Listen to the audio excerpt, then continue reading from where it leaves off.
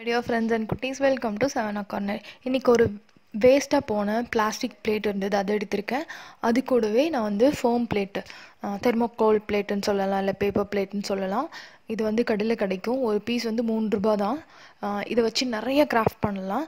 இனிமேல் ஒரு வர வீக்கில் வந்து இந்த ஃபோம் ஷீட்ஸை வச்சு தான் நம்ம நிறைய கிராஃப்ட் பண்ண போகிறோம் ஓகே ஃபர்ஸ்ட்டு வந்து எல்லார் வீட்லேயும் பிளாஸ்டிக் பிளேட் வந்து கண்டிப்பாக ஏதாவது ஒன்று பழசாக இருக்கும். அதை எடுத்துக்கோங்க. ஏன்னா ரவுண்டு ஷேப்பில் கிராஃப்ட் பண்ணும்போது அழகாக இருக்கும். அதுக்கு மேலே டிஷ்யூ பேப்பரில் கொஞ்சம் ஃபெவிகாலும் தண்ணியும் மிக்ஸ் பண்ணி அந்த பிளேட் மேலே அப்படியே ஒட்டுறேன். இது காஞ்சதுக்கப்புறம் இதோட டெக்ஸ்சர் அழகாக இருக்கும் அதுக்காக தான். அதே மாதிரி பெயிண்ட் அப்ளை பண்ணாலும் நல்லா ஸ்ட்ராங்காக நிற்கும் அதுக்காக. ஓகே இப்போ டிஷ்யூ பேப்பரை பிளேட் ஃபுல்லாக ஒட்டியாச்சு. பிளேட்டோட சைடில் கூட ஃபுல்லாக நான் கவர் பண்ணுற மாதிரி ஒட்டியாச்சு. இது காயட்டும் காயறதுக்குள்ளே நம்ம இன்னொரு வேலை பண்ணலாம். ஒரு ஷீட்டில் வந்து இந்த மாதிரி லோட்டஸோட லீஃப் பார்த்துருப்பீங்கள்ல அது நான் வந்து வரைஞ்சிருக்கேன். ஒன்று பெருசாகவும் ஒன்று சின்னதாகவும் அதை என்ன பண்ணுறீங்கன்னா அந்த பேப்பர் பிளேட் மேலே வச்சு இம்ப்ரெஷன் எடுத்துக்கோங்க. அதுக்கு மேலேயே வச்சு நல்லா அழுத்தி பென்சிலில் வரைஞ்சிட்டு அதை அப்படியே கட் பண்ணி எடுத்துக்கோங்க. இப்போ நான் கட் பண்ணி எடுத்து வச்சுருக்கேன். இப்போ ரெண்டு ஃபுல்லான லீஃப் முழுசாக இருக்கிற மாதிரி லீஃப் வரைஞ்சிருக்கேன் கட் பண்ணியிருக்கேன். அடுத்து ஒரு சின்ன ஹாஃப் லீஃப் ஒன்று வரைஞ்சிட்டு அதையும் பேப்பர் பிளேட் மேலே வச்சுட்டு இம்ப்ரெஷன் எடுத்துகிட்டு கட் பண்ணிக்கலாம்.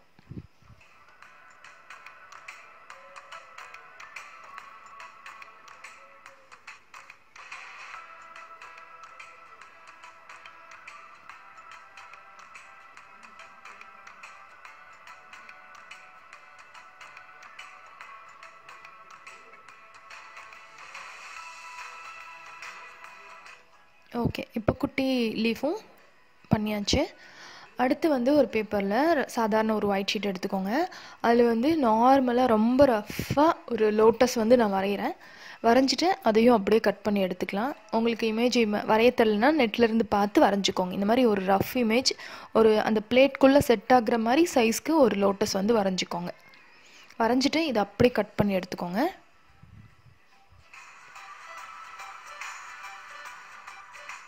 இந்த ஷீட் என்ன பண்ணுறோன்னா அப்படியே அந்த பிளேட் மேலே ஒட்டிடுங்க இதுக்கு மேலே நம்ம வந்து ஃபோமில் அந்த பேப்பர் பிளேட்டை வந்து கட் பண்ணி நம்ம ஒட்ட போகிறோம் ஓகே இது வந்து ஒரு அவுட்லைன் மாதிரி.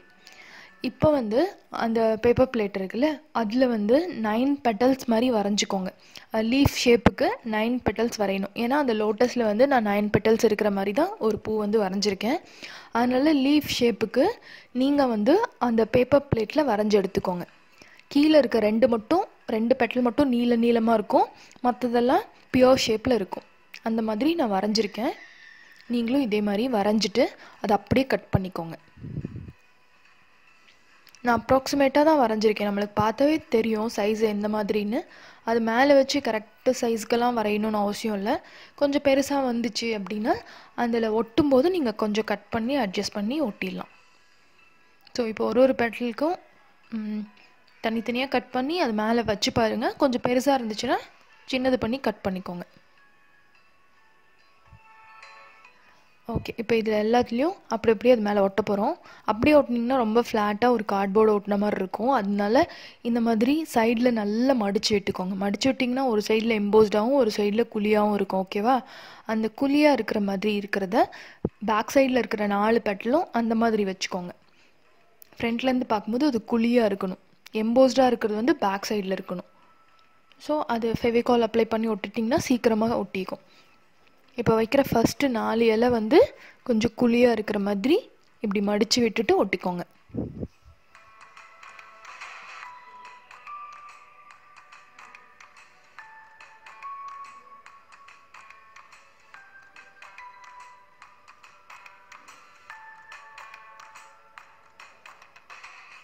பெருசாக இருந்துச்சுன்னா கொஞ்சம் கட் பண்ணி விட்டுக்கோங்க. இதெல்லாம் கொஞ்சம் பெருசாக இருக்குது நான் கட் பண்ணிவிட்டு விட்டுறேன்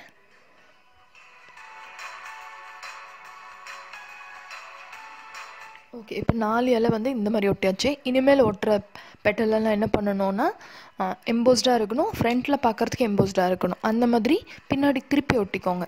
முதல்ல ஒட்டினோம்ல அதுக்கு ஆப்போசிட்டாக எப்படி திருப்பி இருக்கணுமோ அந்த மாதிரி திருப்பி ஒட்டிக்கோங்க. அப்போ தான் இது வந்து அந்த லோட்டஸோட ஃப்ரண்ட் வியூ வந்து நம்மளுக்கு கிடைக்கும்.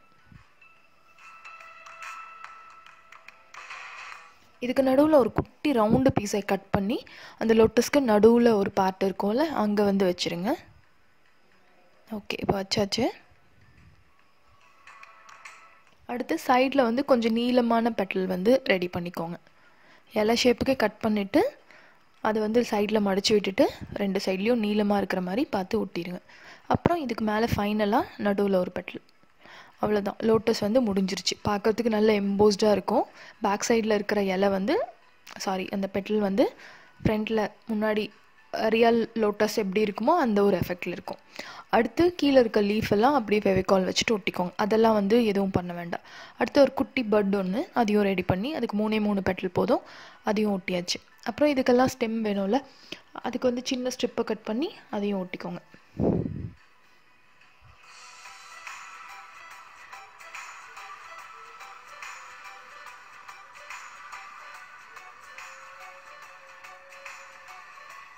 நிறைய பேர் கேட்டிருந்தீங்க. ஹார்ட் க்ளோ இல்லாமல் க்ளே இல்லாமல் ஒரு கிராஃப்ட் வேணும்னு சொல்லிட்டு கண்டிப்பாக இது அந்த மாதிரி இருக்கும்னு நினைக்கிறேன்.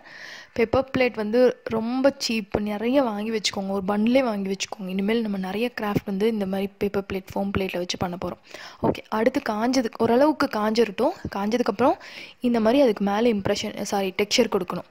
ஏதாவது ஒரு ஷார்ப்பான டூல்ஸ் ஒரு பென்சில் எடுத்துக்கோங்க. எடுத்துகிட்டு இந்த மாதிரி கோடு கோடாக கொடுத்தீங்கன்னா அந்த லோட்டஸ்க்கு நடுவில் வந்து லோட்டஸ் பார்த்துருப்பீங்கள்ல அதில் சின்ன சின்ன லைன்ஸ் மாதிரி இருக்கும்.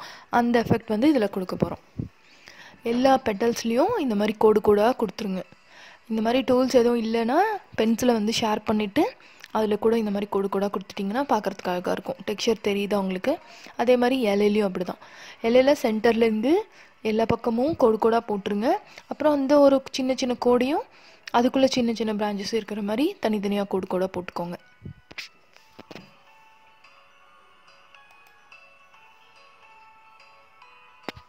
நான் வரைகிறது தெரியுதுன்னு நினைக்கிறேன். ஏன்னா எனக்கு பார்க்குறதுக்கு அவ்வளோ கிளியராக இல்லை. இந்த மாதிரி சின்ன இலை பெரிய இலை அதில் எல்லாத்துலேயும் போட்டுருங்க. அந்த குட்டி பட்டு போட்டோம்ல அதுலேயும் அந்த மாதிரி போட்டுருங்க. அதே மாதிரி ஸ்டெம்லேயும் சின்ன சின்ன கோடு கோடாக போட்டு விட்ருங்க அவ்வளோதான் நம்மளோட டெக்ஸ்சர் ஒர்க் வந்து முடிஞ்சிருச்சு. இப்போ வந்து கலரிங் தான் பண்ண போகிறோம் டெக்ஸ்சர் பார்த்திங்கனாவே அழகாக இருக்கும். அடுத்து என்ன பண்ண போகிறோன்னா அந்த பிளேட் மேலே மட்டும் பூ இலையெல்லாம் விட்டுட்டு பிளேட்டில் டிஷ்யூ பேப்பர் ஒட்டணும்ல அந்த இடத்துல மட்டும் பிளாக் கலர் வந்து பிளாக் கலர் கொஞ்சம் எடுத்து தண்ணி மிக்ஸ் பண்ணி ஃபுல்லாக பெயிண்ட் பண்ணிடுங்க அப்படியே பெயிண்ட் பண்ண வேண்டாம். கொஞ்சம் தண்ணி ஊற்றுனீங்கன்னா ஒரு பிளேட்க்கே அடிச்சிடலாம். ஸோ பேக்ரவுண்ட் வந்து பிளாக் அடிச்சாச்சு. அடுத்து ஒரு பிங்க் ஷேட் எடுத்து அந்த லோட்டஸ்க்கு மேலே இந்த பெட்டல் ஒரு ஒரு பெட்டலுக்கும் மேலே மட்டும் நான் லைட்டாக கலர் கொடுக்குறேன். லோட்டஸ் வந்து ஒரு double colour pink pink with ஒயிட்டில் இருந்து அழகாக இருக்கும்ல அதனால நான் மேலே மட்டும் கலர் கொடுக்குறேன். கீழே வந்து ஒரு ஒயிட் மெட்டாலிக் கலர் பேர்ல் கலர்னு சொல்லுவாங்க அதை எடுத்திருக்கேன். அதை வந்து கீழே ஷேடுக்கு கொடுத்துடலாம். கீழேருந்து மேலே கொடுத்தீங்க அப்படின்னா ரெண்டு கலரும் ஓரளவுக்கு மேஜ் ஆயிரும். ஸோ பார்க்குறதுக்கு ரியல் லோட்டஸோட கலரில் இருக்கும். அதுக்கு மேலே லோட்டஸ் இன்னும் கொஞ்சம் டார்க்காக வேணும்னா நீங்கள் இன்னும் இதுக்கப்புறம் இன்னும் கொஞ்சம் டார்க் கலர் கூட பண்ணிக்கலாம். கலரிங்கில் தான் இந்த கிராஃப்ட் அழகாக இருக்கும். பார்த்தா ஃபோம் பிளேட்டில் வந்து பண்ணணும் அப்படிங்கிற மாதிரியே தெரியாது. ரியலாக அவ்வளோ அழகாக இருக்கும். அதே மாதிரி அந்த குட்டி பட்க்கும் ரெண்டு கலர் கொடுத்துருங்க. அப்புறம் நடுவில் ஒரு சின்ன பீஸ் வச்சோம்ல அதுக்கு வந்து எல்லோ கலர் பெயிண்ட் பண்ணிக்கலாம்.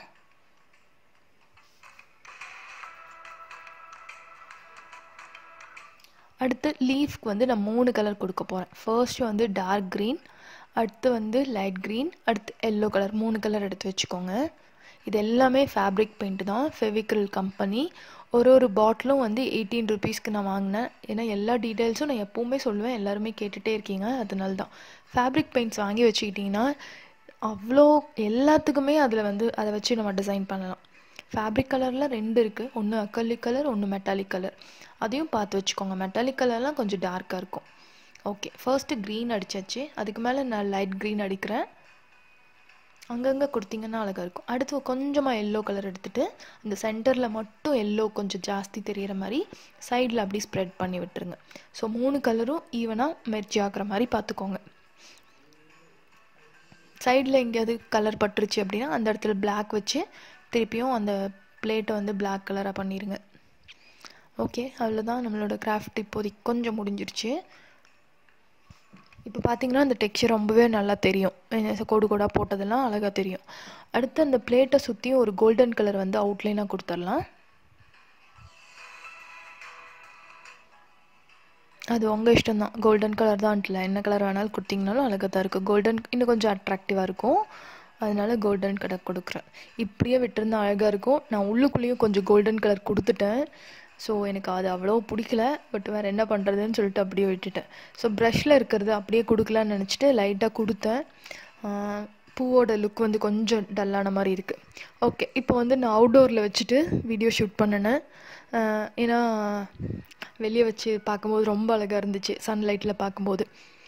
உள்ளுக்குள்ளே எப்பவுமே ஃப்ளாஷ் லைட் போட்டு தானே நான் காமிப்பேன். இது வந்து வெளியே என்னோடய கார்டனில் கொண்டு போய் வச்சுருக்கிறேன். நேச்சராக பார்க்குறதுக்கு ரொம்ப அழகாக இருக்குன்னு நினைக்கிறேன். இந்த வீடியோ இன்ஃபர்மேஷன் கண்டிப்பாக உங்களுக்கு பிடிக்கும்னு நினைக்கிறேன். பிடிச்சிருந்தா லைக் பண்ணுங்கள் கமெண்ட் பண்ணுங்கள் ஷேர் பண்ணுங்கள் நெக்ஸ்ட் வீடியோவில் பார்க்கலாம் இனிமேல் ஒரு ஒன் வீக்குக்கு நான் நிறைய பிளேட்டு ஃபோம் பிளேட் வாங்கி வச்சுருக்கேன். இந்த தெர்மோக்குலர் பிளேட்டு அதை வச்சு நான் நிறையா கிராஃப்ட் பண்ண போகிறேன் கண்டிப்பாக எல்லாருமே பாருங்கள் பார்த்துட்டு உங்களோட கமெண்ட்ஸை ஷேர் பண்ணுங்கள் நெக்ஸ்ட் வீடியோவில் பார்க்கலாம் பாய் பாய் பாய்